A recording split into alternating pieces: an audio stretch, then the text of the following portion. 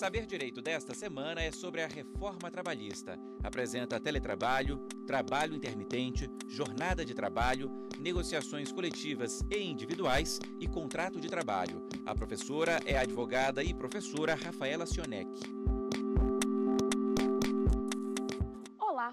Sou a professora Rafaela Sionek de Direito do Trabalho. Esse é o nosso Saber Direito, onde nós vamos tratar sobre os aspectos materiais da reforma trabalhista. Na nossa aula de hoje, nós vamos falar das principais alterações da reforma trabalhista em relação à jornada de trabalho.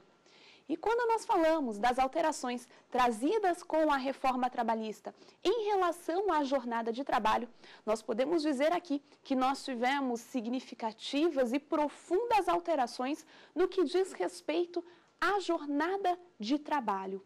Como um exemplo das alterações, nós temos o regime de tempo parcial, as alterações em relação ao intervalo intrajornada, ao tempo à disposição do trabalhador, a situação, o esquema de compensação e instituição do banco de horas ou de compensação de jornada, e também do tempo à disposição do trabalhador, que são todos esses temas que nós vamos abordar no nosso encontro de hoje.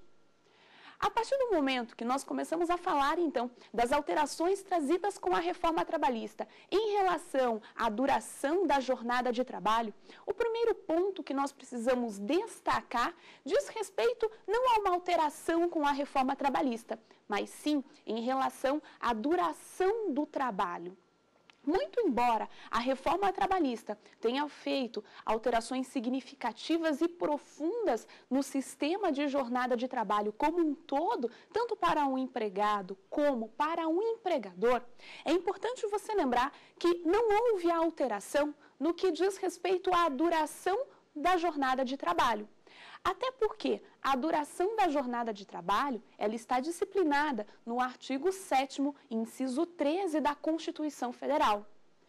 O artigo 7 inciso 13, disciplina a nossa jornada de 8 horas diárias e 44 horas semanais, sendo que o próprio dispositivo constitucional possibilita para nós a possibilidade de redução ou até mesmo compensação dessa jornada de trabalho através de acordos individuais ou coletivos até mesmo. Mas além do limite da duração da jornada de trabalho prevista na Constituição e também prevista no artigo 58 da CLT, não houve alteração no que diz respeito à realização das horas extras ou do limite máximo da jornada de trabalho. Esse limite, ele permanece intacto, inalterado, de modo então que o empregado ele irá laborar numa jornada de 8 horas diárias e 44 horas semanais e poderá até realizar duas horas extras diárias. Esse limite da realização das horas extras diárias, ele está previsto para nós no artigo 59 da CLT e mesmo com a reforma trabalhista, é importante então você lembrar que nós não tivemos alteração nestes tópicos. Eu permaneço com a duração do trabalho diário, com o limite constitucional e permaneço ainda com o limite máximo que o empregador poderá exigir do empregado em caso de prestação extraordinária. Saindo um pouco dessa esfera da duração do trabalho, mas falando ainda sobre a jornada de trabalho, vamos falar das alterações trazidas com o regime de tempo parcial. E quando nós falamos desse regime de tempo parcial, sem sombra de dúvidas, as alterações com a reforma foram significativas, porque não alterou tão somente a duração desse modo de trabalho, como também as implicações no que diz respeito às férias desses empregados submetidos ao trabalho em regime de tempo parcial. Esse trabalho é aquele no qual o empregado, antes da reforma lista, trabalhava até 25 horas semanais, nos termos do artigo 58A da CLT. Com a reforma trabalhista, agora, o trabalho em regime de tempo parcial tem duração de até 30 horas semanais ou 26 horas semanais, sendo permitida a realização de até 6 horas extras. Importante, então, você lembrar que A partir de agora, com a reforma trabalhista, o nosso trabalho em regime de tempo parcial, ele pode ser estipulado de duas formas. O primeiro, de até 30 horas semanais. E a partir do momento em que o empregador realiza tal estipulação, em 30 horas semanais é vedada a prestação de horas extras. E a segunda possibilidade é de até 26 horas semanais, sendo permitida a realização de até 6 horas extras semanais. Nessa segunda modalidade de estipulação do contrato de trabalho em regime de tempo parcial, o empregador, ele pode aqui, por exemplo, estipular a jornada de até 20 horas semanais, só que o módulo de prestação de horas extras permanecerá no limite máximo de 6 horas semanais. Além da permissão da realização das horas extras, então, para jornadas de até 26 horas semanais, com limite de 6 horas semanais extras aqui, o nosso legislador, ainda com a reforma, permite a compensação dessas horas extras realizadas. Mas nesse regime de compensação da jornada, com o regime de trabalho de tempo parcial das horas extras, importante você lembrar aqui que esta compensação ela deve ocorrer até a semana posterior à prestação do trabalho extraordinário, e caso não ocorra essa compensação, o empregador ele deverá remunerar essas horas extras prestadas no mês seguinte. Então, por exemplo, nós estamos no mês, vamos supor, de fevereiro, eu tenho um trabalho em regime de tempo parcial de até 26 horas semanais, no qual me permite exigir daquele empregado a realização de até 6 horas extras semanais. Durante essa semana, ele pode trabalhar, então, numa jornada de até 32 horas semanais. No entanto, na semana seguinte, ele terá que compensar essas 6 horas extras semanais realizadas. Caso essa compensação não ocorra dentro da semana subsequente à prestação do trabalho extraordinário, o empregador deverá efetuar o pagamento dessas horas extras no mês subsequente. Lembrando aqui que o pagamento dessas horas extras do período subsequente, ele irá ocorrer com um adicional de 50% sobre o valor da hora normal.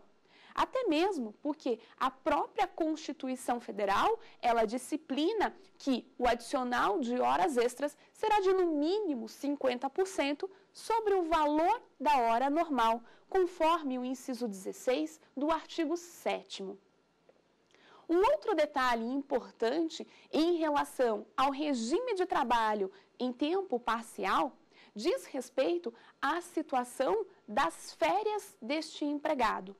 O empregado submetido ao trabalho do regime de tempo parcial, antes da reforma trabalhista, tinha suas férias de acordo com a duração semanal deste trabalho. E as suas férias, então, estavam disciplinadas no artigo 130A da CLT.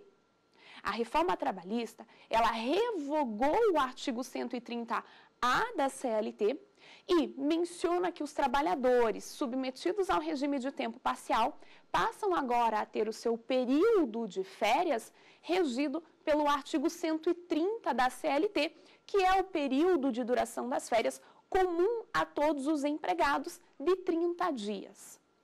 Desta forma, é importante você estabelecer um paralelo aqui, principalmente você, estudante, que está se preparando para as provas de concurso público, porque certamente a sua banca examinadora, na hora de cobrar a reforma trabalhista, tendo em vista que nós estamos aí num período recente da reforma, pode trazer um paralelo. Desta forma, como era o regime das férias no trabalho em regime de tempo parcial e como está com a reforma trabalhista agora. O artigo 130A da CLT, ele mencionava que o trabalhador, então, ele teria até no máximo 18 dias de férias se a sua jornada semanal estivesse, por exemplo, entre 22 a 25 horas de duração na semana. Nesses termos, o artigo 130A falava que o período mínimo de duração das férias seria de oito dias. Então aí eu teria uma variação na duração das férias de acordo com a duração semanal do trabalho deste empregado. No mínimo oito e no máximo 18 dias de férias. Sendo que em caso de faltas injustificadas superior a 7, disciplinava o artigo 130-A da CLT que este período de duração das férias ele seria reduzido à metade. E foi justamente em razão deste período de duração das férias a menor do trabalhador submetido ao regime de tempo parcial que o parágrafo 3 do artigo 143 da CLT vedava a esta forma de trabalho o direito dos empregados ao abono pecuniário. O que é o abono pecuniário? O abono pecuniário para o direito do trabalho é quando nós falamos em venda de férias. Falar em abono pecuniário aqui é falar na possibilidade que um empregado tem de converter um terço de suas férias em pecúnia, em espécie. A partir da reforma trabalhista agora, então, o empregado ele passa a ter o seu período de duração das férias nos termos do artigo 130 da CLT. Isso quer dizer, então, que ele terá direito a 30 dias de férias, independente do módulo semanal de trabalho, sejam 30 horas semanais, ou seja, 26 horas semanais, com a possibilidade da realização de até 6 horas extras semanais. No entanto, esse período de duração das férias aqui, ele será de acordo com o número de faltas injustificadas que o empregado teve ao longo do seu período aquisitivo. Nesse sentido, o artigo 130 da CLT estabelece que o empregado que teve até cinco faltas injustificadas ao longo do seu período aquisitivo passará a ter direito a 30 dias de férias. O empregado que teve de 6 a 14 faltas injustificadas tem direito a 24 dias de férias. O empregado que teve de 15 a 23 faltas passa a ter direito a 18 dias de férias. O empregado que tem direito a 20, que teve 24 a 32 faltas injustificadas, ele passa a ter direito a tão somente 12 dias de férias. Então, o mesmo período de duração das férias, de acordo com o número de faltas injustificadas que o empregado teve ao longo do seu período aquisitivo, também será válido agora para o regime de tempo parcial. Desta forma, então, uma vez que a reforma trouxe a revogação do artigo 130-A da CLT, nós tivemos também a revogação do parágrafo 3 do artigo 143 da CLT. De modo que, então, esses empregados, eles podem, então, se valer do abono pecuniário. Situação essa, inclusive, que está expressamente prevista nos parágrafos do artigo 58A da nossa CLT, que disciplina aí a respeito do regime de tempo parcial. Então, agora, os empregados submetidos ao regime de tempo parcial, além de ter um período de duração de férias superior de 30 dias, eles vão poder aqui, se for da sua vontade, vender as suas férias, se valer do abono pecuniário, que é o direito de converter um terço de suas férias em pecúnia, em espécie. Lembrando que o abono pecuniário, ele é um direito do empregado, que uma vez manifestado dentro do prazo previsto no artigo 143 da CLT, o empregador deverá acatar esta vontade deste seu empregado. O requerimento para o abono pecuniário deve ocorrer em até 15 dias antes do fim do período aquisitivo, que é aquele período no qual o empregado está adquirindo o seu direito de férias. Então, 15 dias antes do fim do período aquisitivo, o empregado deverá manifestar a sua intenção de vender, de converter um terço de suas férias em pecúnia, em espécie. Considerando então o trabalho em regime de tempo parcial, Essas são as situações especiais e as principais alterações que nós verificamos nesta forma de trabalho. Eu saio então de um trabalho de até 25 horas semanais e passo a ter um trabalho estipulado de até 30 horas semanais ou 26 horas semanais, com a permissão da realização das horas extras que antes não era verificado com a reforma trabalhista.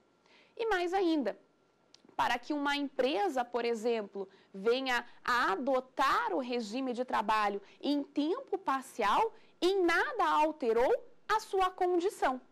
De modo que é necessária a realização de um acordo ou de uma convenção coletiva de trabalho.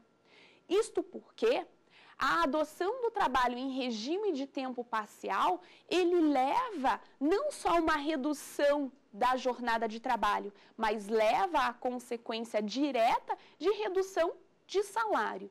E uma vez que eu falo em redução de salário, eu preciso lembrar do inciso 6 do artigo 7 da Constituição Federal, que veda a redução salarial por ato unilateral exclusivo do empregador. O inciso 6 para nós da Constituição Federal do artigo 7 disciplina que é vedada a redução salarial salvo negociação coletiva de trabalho. Então, uma vez que o empregador queira adotar o trabalho em regime de tempo parcial, para a adoção desse regime, é necessário, então, aqui um acordo ou uma convenção coletiva de trabalho autorizando este empregador, tendo em vista que a implicação direta da redução dessa jornada de trabalho vai influenciar na redução dos salários. Visto então o trabalho em regime de tempo parcial, vamos à pergunta dos nossos alunos. Como será a instituição do banco de horas com a reforma para os contratos de trabalhos ativos? Ótima pergunta, porque quando nós falamos das, dos regimes de compensação de jornada ou prorrogação da jornada de trabalho, nós temos que o empregador poderá, mediante acordo individual com o empregado, exigir a prestação de até duas horas extras semanais com o pagamento do adicional respectivo, que será de no mínimo 50% sobre o valor da hora normal para cada hora extra realizada pelo empregado. Com a reforma trabalhista, nós tivemos uma ampliação e até mesmo uma normatização dos sistemas de compensação de jornada. E quando nós falamos do sistema de compensação de jornada, é importante lembrar que eu tenho o banco de horas e o sistema de compensação de jornada. A ideia desses dois sistemas, eles são praticamente semelhantes, em que o empregado trabalha mais num dia, compensando trabalhando menos no dia seguinte ou dentro de um certo lapso temporal. Mas o importante lembrar que tanto no banco de horas quanto a compensação da jornada não implica no pagamento do adicional de horas extras. O empregado ele vai trabalhar além da sua jornada normal, e quando ele trabalhar além da sua jornada normal, ele não vai receber um adicional de horas extras, por exemplo, porque ele vai compensar trabalhando menos, sendo dentro de um módulo de uma semana, de um mês, de um período de seis meses ou até dentro de um ano, a depender do regime de compensação adotado pelo empregador. Para que a gente possa responder à pergunta da nossa aluna a respeito da adoção desses sistemas de compensação para os contratos de trabalho que já estão ativos com a reforma trabalhista, é importante a gente fazer a distinção desses dois sistemas de compensação de jornada, banco de horas e aqui esse banco de horas, ele pode ser instituído por meio de um acordo individual ou coletivo e a compensação da jornada que pode ser por um acordo individual, tácito ou escrito. Quando nós falamos do banco de horas, a grande novidade com a reforma trabalhista foi a possibilidade da instituição do banco de horas mediante um acordo individual. Antes da reforma trabalhista, nós poderíamos instituir o regime do banco de horas somente por acordo ou convenção coletiva de trabalho nos termos do item 5 da súmula 85 do TST. Por quê? Esse regime do banco de horas, ele era prejudicial à saúde do trabalhador, visto de tal forma porque o seu prazo de compensação deveria ocorrer dentro de um ano a contar da prestação do trabalho extraordinário. Então, para a devida validade desse banco de horas, seria necessária a estipulação, a autorização, através de um acordo ou uma convenção coletiva de trabalho. Com a reforma trabalhista, nós temos agora a possibilidade de instituição do banco de horas mediante um acordo individual. No entanto, o prazo para a compensação dessas horas extras realizadas deverá ocorrer dentro do limite de seis meses. Importante você lembrar que o banco de horas coletivo, ele não foi revogado com a reforma trabalhista. O que nós temos a partir de agora é duas possibilidades de instituição da compensação pelo banco de horas. Uma, mediante acordo individual entre empregado e empregador, sendo o prazo de compensação dentro de seis meses. E segunda a segunda possibilidade, um banco de horas coletivo, com a compensação aqui dentro do prazo de um ano, que aí eu preciso de um acordo ou uma convenção coletiva de trabalho.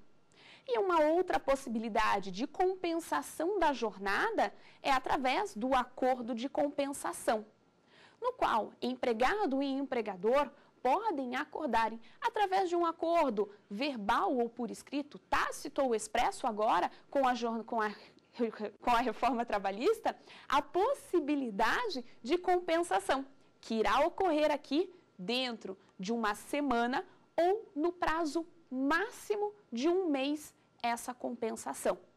Então, o acordo de compensação, ele pode ocorrer ou dentro da semana de trabalho, fechando o módulo das 44 horas semanais, mas compensando com trabalhando menos em alguns dias da semana, ou dentro do módulo máximo de um mês de compensação de jornada. Em relação aos contratos de trabalho que já estão ativos, para a adoção, por exemplo, de um banco de horas individual, é importante o empregador analisar se não há nenhum acordo ou convenção coletiva de trabalho disciplinando essa matéria em sentido contrário. Por quê?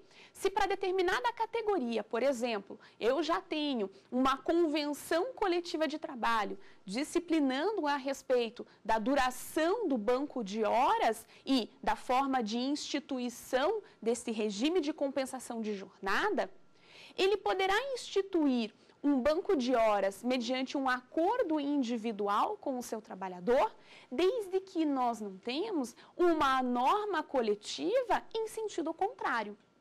Então, aos contratos de trabalho ativos, eu já posso me valer desses regimes de compensação de jornada, banco de horas individual e a compensação de jornada, que teve a normatização com a reforma trabalhista? Sim, mas desde que eu não tenha uma norma coletiva em sentido contrário, tratando sobre esses dois temas. E é importante você lembrar também uma alteração em relação a esses regimes de compensação de jornada, banco de horas, compensação de jornada de trabalho, que o fato da, do empregado realizar horas extras em caráter habitual não descaracteriza o acordo de compensação de jornada. Antes da reforma trabalhista, a súmula 85 do TST estabelecia expressamente que, uma vez instituído o acordo de compensação de jornada, no qual o empregado trabalha mais um dia, trabalhando menos no dia seguinte, mas não ultrapassando um módulo de jornada semanal, isso quer dizer as 44 horas semanais, a prestação de trabalho extraordinário habitual, quando então o empregado ultrapassa o módulo de 44 horas semanais, descaracterizava o acordo de compensação de jornada. Com a reforma trabalhista, o artigo 59B e seu parágrafo único passaram a disciplinar que, mesmo se houver a incidência de prestação de horas extras habituais, Tal situação não irá descaracterizar o acordo de compensação de jornada ou até mesmo o banco de horas. Sendo que, em caso do empregador, por exemplo, não observar qualquer uma das regras pertinentes à compensação ou banco de horas, não vai implicar no pagamento da hora cheia, mas sim apenas do respectivo adicional de horas extras. Essa ideia também é aplicado quando o banco de horas, inclusive, ele é afirmado de forma tácita com o empregado. Por quê? A reforma trabalhista permite a celebração do acordo de compensação de jornada de forma tácita ou expressa. O que antes da reforma trabalhista, pela súmula 85 do TST, implicava praticamente na sua invalidade desse regime de compensação de jornada e o empregador teria que pagar aqui apenas as horas destinadas à compensação de jornada com um adicional. Com a reforma trabalhista, então, nós não temos mais essa situação, visto que ela validou o regime do acordo de compensação de jornada, também estipulado de forma tácita. Mas, desse modo, caso o empregador não cumpra as peculiaridades, as particularidades, seja do banco de horas, ou seja, do acordo de compensação de jornada, disciplinados nos parágrafos do artigo 59 da CLT, ele irá pagar apenas o adicional referente ao sistema de compensação de jornada. Uma outra alteração importante foi que o parágrafo 4 ele foi revogado do artigo 59 da CLT, que vedava a prestação de horas extras aos empregados submetidos ao regime de tempo parcial. Hoje, como nós vimos, esses empregados, se laboram num regime de até 26 horas semanais, eles podem realizar jornadas extraordinárias. Visto então o nosso banco de horas, o nosso acordo de compensação de jornada, vamos à nossa próxima pergunta. Qual é a consequência da não fruição do intervalo intrajornada na integralidade? Ótima pergunta, porque nós também tivemos alterações sensíveis e significativas quanto ao intervalo intrajornada. Para você que nos acompanha, o intervalo intrajornada é aquele período de descanso do empregado que vai ocorrer durante a jornada de trabalho. No entanto, esse período de descanso, ele não será computado como tempo de trabalho efetivo. Isso quer dizer que o empregado não está prestando serviços e esse período de tempo, então, é como se ocorresse uma pausa na sua jornada de trabalho. É o que nós conhecemos, o intervalo intrajornada, como nosso horário de almoço. Quando o empregado, por exemplo, ele vai usufruir do seu horário de descanso e alimentação, o seu horário de almoço, ele efetua o registro do seu cartão ponto, vai usufruir desse intervalo volta, efetua um novo registro. Esse é intervalo, então, ele ocorre durante a jornada de trabalho, mas ele não é computado como tempo de trabalho efetivo em regra. E quando nós falamos do intervalo intrajornada, o seu período de duração vai depender da jornada diária de cada empregado. O intervalo intrajornada, ele está disciplinado lá no artigo 71 da CLT. E o artigo 71, então, disciplina que o empregado que labora numa jornada acima de quatro, mas limitadas até seis horas diárias, tem direito a um intervalo de 15 minutos. O empregado que labora numa jornada superior a seis horas diárias tem direito a, no mínimo, uma hora podendo ser prorrogadas para até duas horas, mediante acordo ou convenção coletiva de trabalho. Agora, aqueles empregados que laboram até quatro horas diárias, nós não temos nenhum artigo da CLT, nem súmula OJ do TST, disciplinando a respeito do intervalo intrajornada. E quando nós falamos deste período de descanso para o trabalhador, nós não precisamos ficar apenas no artigo 71 da CLT. É necessário olhar a súmula 437 do TST, principalmente em relação às alterações trazidas com a reforma trabalhista. Por quê? A súmula 437, ela disciplinava a seguinte situação, que em caso da não concessão ou da concessão parcial desse intervalo intrajornada, o empregador estaria obrigado ao pagamento do período total destinado ao intervalo e não apenas aquele suprimido como hora extraordinária e sem prejuízo ainda da natureza remuneratória deste intervalo. Isto quer dizer então que, uma vez que o empregado não usufruía desse período de descanso, vamos supor, eu tinha direito a uma hora, mas eu só descansava, almoçava dentro de 40 minutos e deixava de usufruir 20 minutos de intervalo intra-jornada. Mesmo com a não concessão de 20 minutos, o empregador ele estaria obrigado ao pagamento da hora cheia destinada ao intervalo, ou seja, uma hora, pela concessão irregular deste intervalo intrajornada.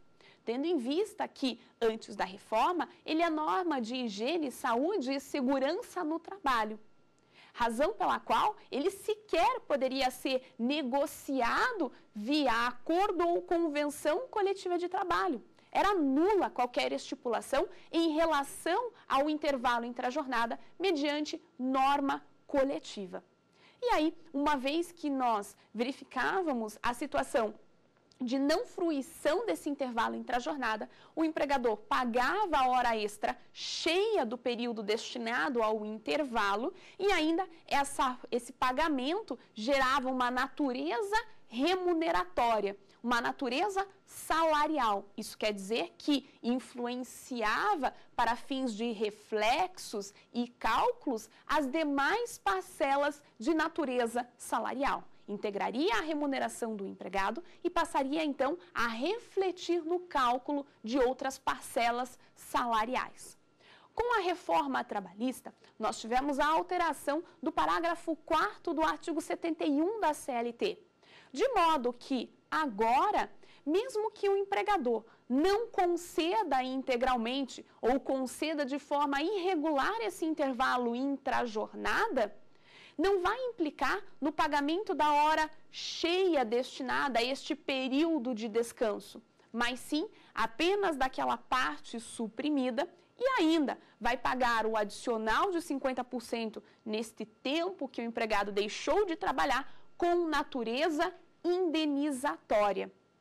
É importante você lembrar que o nosso legislador fez questão de ressaltar esta natureza indenizatória em relação ao período não usufruído, não gozado do intervalo intrajornada com a reforma trabalhista retirando assim a natureza salarial que era concedida pela súmula 437 do TST, com o entendimento da redação antiga do parágrafo 4 do artigo 71 da CLT. Uma outra alteração em relação ao intervalo intrajornada está prevista para nós no inciso 3 do artigo 611-A da CLT que trata sobre os direitos que são passíveis de negociação coletiva de trabalho. E um desses direitos que eu posso negociar mediante, então, acordo coletivo ou convenção coletiva de trabalho, está na possibilidade de redução do intervalo intrajornada. Agora, então, nós podemos reduzir o intervalo intrajornada respeitando o limite mínimo de 30 minutos para as jornadas e para os intervalos de no mínimo uma hora. Mediante essa redução que irá ocorrer através de acordo ou convenção coletiva de trabalho. Lembrando que, em regra, eu não vou poder negociar o intervalo entre a jornada de forma individual com o empregado. Esta foi uma das grandes situações que causou um pouco de dúvida em algumas pessoas quando nós falávamos da reforma trabalhista, quando da sua publicação. Alguns entenderam que eu posso agora negociar, mediante um acordo individual, os períodos de descanso, o intervalo intra-jornada, reduzindo aí até 30 minutos. Não. A reforma trabalhista, ela permite a negociação do intervalo entre a jornada? Sim, mas mediante acordo ou convenção coletiva de trabalho. Essa negociação individual do intervalo intrajornada, ela poderá ocorrer para aqueles empregados que possuem diploma de nível superior ou remuneração igual ou superior a duas vezes o limite do teto estabelecido para os benefícios do regime geral da Previdência Social. Estes empregados, sim, eles podem negociar os mesmos direitos previstos no artigo 611-A da CLT para negociação coletiva através de uma negociação individual. Porque aqui o legislador entendeu que eles têm plenas condições de negociação diretamente com o empregador, uma vez que ele preenche, que ele apresenta esses dois requisitos: diploma de nível superior e percepção de salário igual ou superior a duas vezes o limite do teto estabelecido pelo regime geral da Previdência Social. Um outro detalhe importante em relação à possibilidade de redução ou fracionamento do intervalo intrajornada é que antes da reforma trabalhista, ele também já era possibilitado pelos parágrafos 3 e 5 do artigo 71 da CLT. Antes da reforma, nós tínhamos essas duas possibilidades de redução e redução e fracionamento do intervalo intrajornada. O parágrafo 3 por exemplo, do artigo 71, ele permitia a redução do intervalo intrajornada de uma hora desde que preenchidos ali três requisitos. Por exemplo, eu teria que preencher uma autorização prévia da autoridade competente, e aqui a autoridade competente era a Superintendência Regional do Trabalho, que me concedia o direito à redução, mas não bastava a autorização da SRT. Era necessário aqui que a empresa possua refeitório próprio e que os empregados não estejam submetidos a regime de trabalho extraordinário. E aí, verificados esses três requisitos, então, eu poderia reduzir o intervalo intra-jornada de uma hora. Outra possibilidade de redução do intervalo intra-jornada diz respeito ao parágrafo 5 do artigo 71 da CLT, que permite ali que, em relação aos motoristas e cobradores rodoviários, tendo em vista a natureza específica da forma como se dá o desenvolvimento do trabalho ali, seria possível, então, a redução do intervalo intrajornada ou até mesmo o seu fracionamento deste intervalo mediante autorização em sede de acordo e convenção coletiva de trabalho.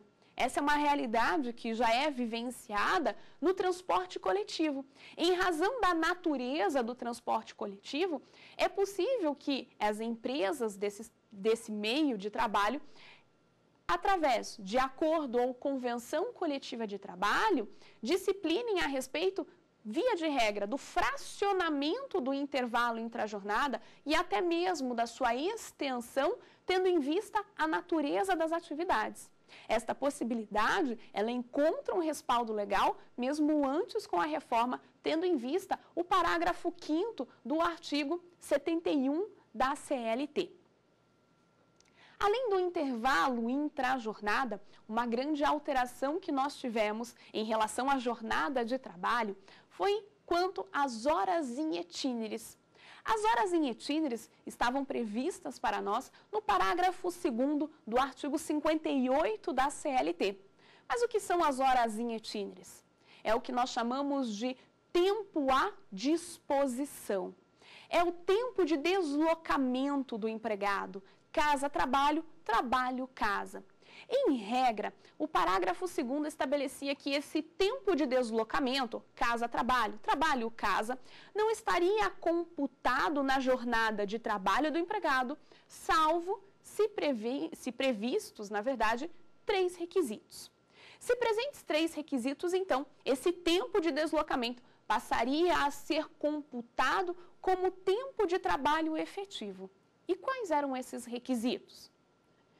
Empresa em local de difícil acesso ou não servida por transporte público regular e o empregador fornecesse a condução, o transporte, seja esse transporte fornecido de forma gratuita ou onerosa.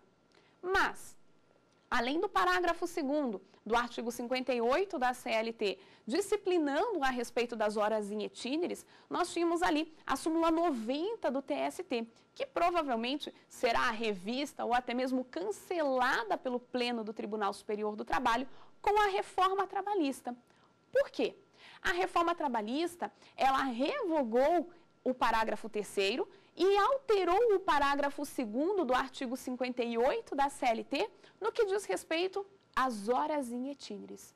Deste modo, a partir de agora, esse tempo de deslocamento, casa-trabalho, trabalho-casa, qualquer que seja a forma de deslocamento do trabalhador ao seu local de trabalho, seja por meio próprio, seja por bicicleta, carro ou até mesmo por condução fornecida pelo empregador, não será computado como tempo de trabalho efetivo.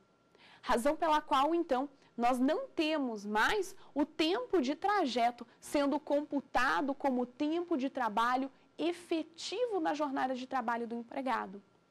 E aí, uma vez que nós tivemos essa alteração desse regime do parágrafo 2 do artigo 58 da CLT, consequentemente, nós tivemos a revogação do parágrafo 3 também do artigo 58. O parágrafo 3 em especial permitia que as micro e pequenas empresas pudessem negociar ali um tempo médio em relação às horas em itineres, a duração e a sua remuneração das horas em itineres através de acordo ou convenção coletiva de trabalho.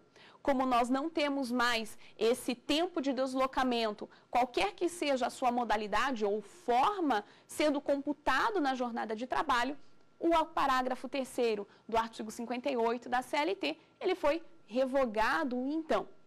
Quando nós falamos ainda de tempo à disposição, de tempo de deslocamento, que passa a ser computado como tempo de trabalho efetivo, é importante a gente fazer menção a algumas situações, a algumas peculiaridades quanto ao parágrafo 2 do artigo 4 da CLT, que trata do tempo à disposição do empregador.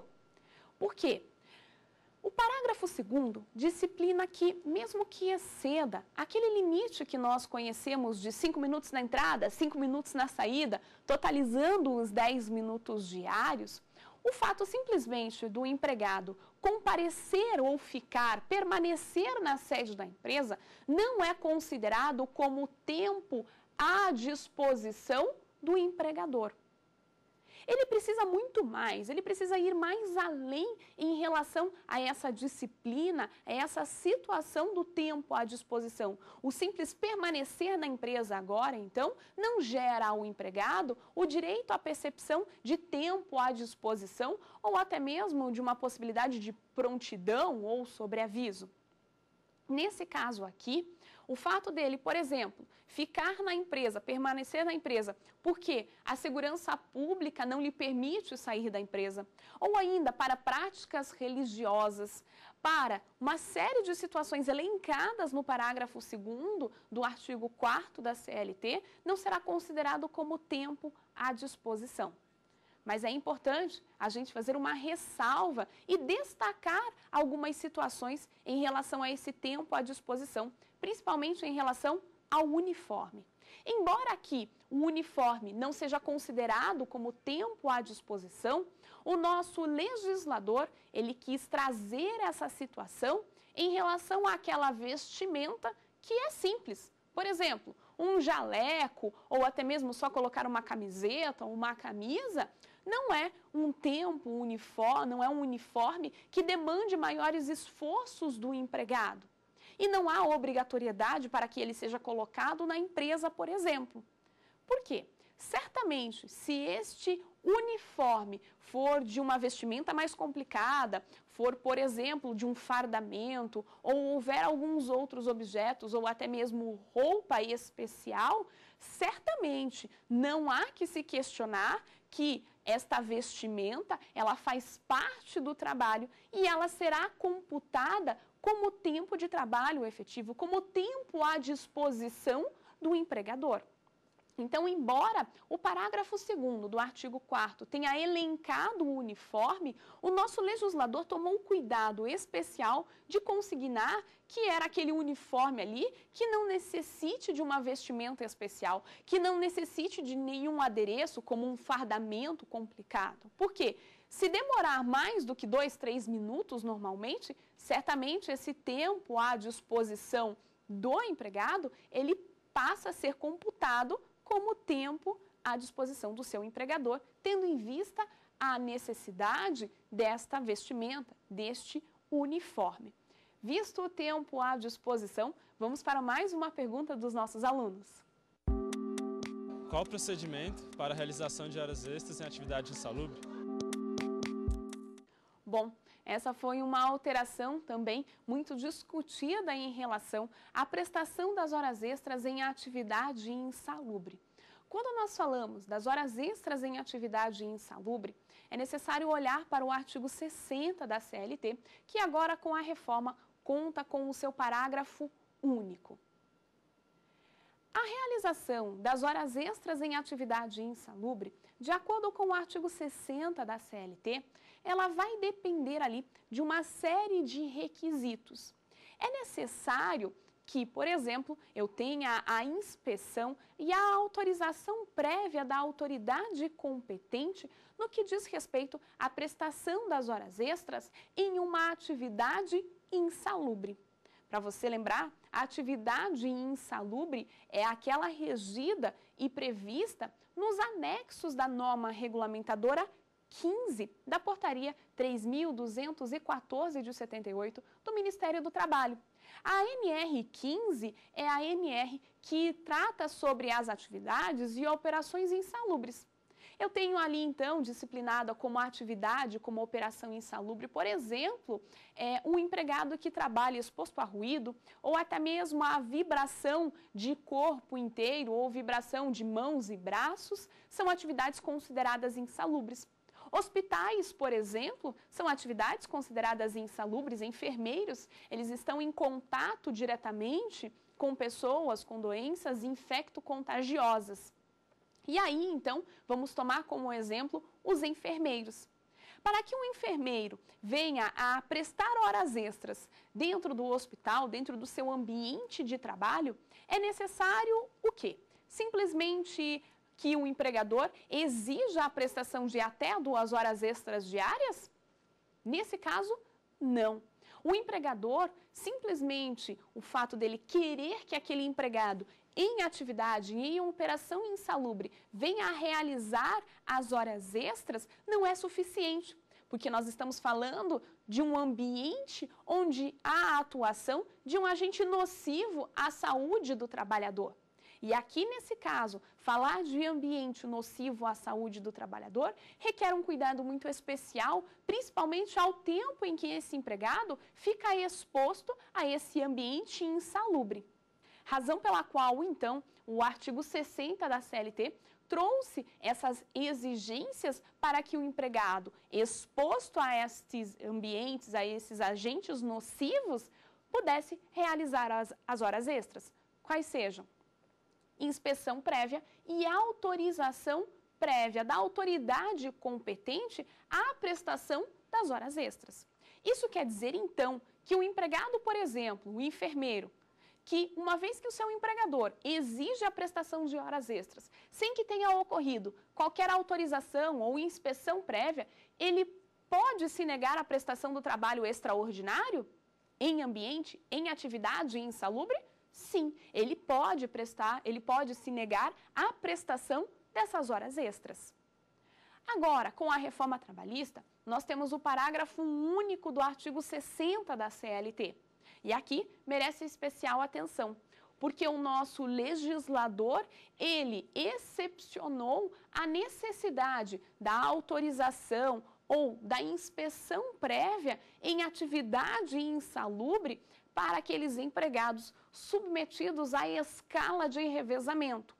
A escala de revezamento é aquela jornada de trabalho 12 por 36, no qual o empregado ele trabalha por 12 horas seguidas de 36 horas de descansos ininterruptas.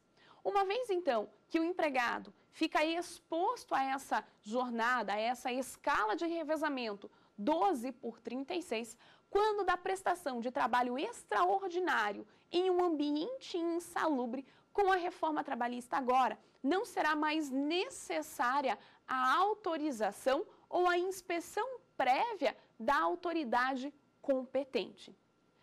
Falar então em escala de revezamento e prestação de horas extras em atividade insalubre com a reforma trabalhista, eu não necessito mais então dessa autorização. Em relação ao nosso enfermeiro, agora com a reforma trabalhista, se ele está, e a regra é que os enfermeiros trabalhem nesse regime 12 por 36 praticamente, quando ele está submetido a este regime, então, o simples fato do seu empregador exigir a prestação de horas extras já autoriza que esse realize de forma direta? Sem sombra de dúvidas. Vista então as principais alterações do regime de trabalho, da duração da jornada de trabalho, vamos ao resumo da nossa aula. Nós falamos da jornada em regime de tempo parcial de 30 horas semanais ou 26 horas semanais, com até 6 horas extras diárias. Falamos do banco de horas, que pode ser instituído agora por acordo individual, mas lembrando que eu tenho ainda banco de horas coletivo, acordo de compensação de jornada. Falamos das horas em etíneres, que deixaram de existir com a reforma trabalhista, e do tempo à disposição do empregador.